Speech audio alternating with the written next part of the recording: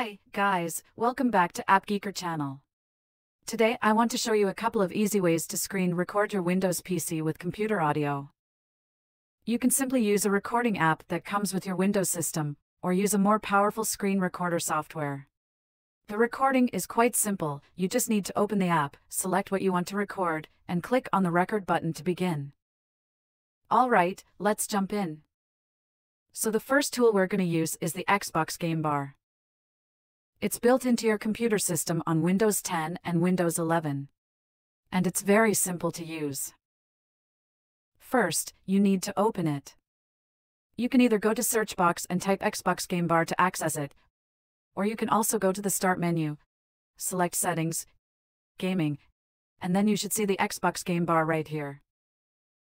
When you reach the Xbox Game Bar, just simply enable the option. And below it, you're able to adjust the shortcuts to open and use it. Here, I'm just using its default settings. And then, you can close this window and press the Windows key together with the G button on your keyboard. This shortcut will open up the game bar automatically. You will see its toolbar show up at the top. Now, we have the ability to capture the gameplay and also other actions on the Windows screen. So, click on this speaker icon from here, you're able to record computer audio and also your voice with it. You can select the source audio you want to record. And then, we check the camera icon as well. From this Capture Control Center, you can take a screenshot or turn on the microphone audio while you record. And before you start recording, you'll want to know that Xbox Game Bar doesn't have the option to record your desktop or File Explorer. But you can record video game, browser, and an active application on your computer screen and when you're ready, you can click on the record button or press Windows, Alt, and their button to start. This allows you to record your computer screen and audio at the same time. However, if you're willing to record multiple displays on your screen, it might not be possible. The Xbox Game Bar can only record one active window at a time.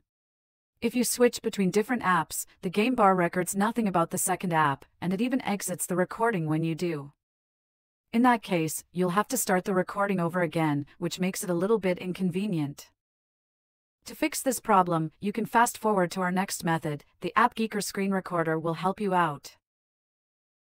Right here, in the Xbox game bar, when you're done, you can end the recording by clicking the stop button on the floating bar. Also, you can make it stop by pressing the combination Windows, Alt, and Q. Then your computer will inform you that the game clips have been recorded successfully. You can play the video to see whether you want to keep it. Like I said, the Xbox Game Bar is pretty easy to use. If you're searching for a basic recorder, it'll be your perfect option. However, if you'd like to record multiple applications or capture all the on-screen activities with audio on your computer, we'll highly recommend the next tool, Screen Recorder from AppGeeker. So, a useful screen recorder should have the capacity to record your screen, audio, webcam, and also the microphone sound from your computer. And that's exactly what the AppGeeker screen recorder offers. It's a desktop software, letting you record everything on your Windows screen in a few clicks. To create a high-quality screen recording with audio, first we download and install it on the computer. I already have it. And I'm gonna drop the download link in the description below this video. You can easily click it to explore more. You can also have a free trial to see how powerful it is. Alright, now, launch it on your Windows once you got it. And for screen recording, select Video Recorder from its main interface. Right here, as you see, you can select what you want to record from your computer. You can record the full screen or a certain area. You can include your system sound as well as the microphone audio and you can also click the gear icon to adjust more advanced settings. In the recording settings, you can set up a countdown before recording or make it record your mouse movement and show clicks. Also, if you check the output settings, you're allowed to decide the location, format, and also the quality of your recordings. So, just configure the recording settings before you start. And after going through the setup step, you can now click on the record button to record. Also, another wonderful feature of the screen recorder is that you can edit on your computer screen while recording. You can add drawing, shapes, arrows, and even annotations on the screen, which will give your viewers a better understanding of what's going on especially if you're recording a lesson video or creating a tutorial guide.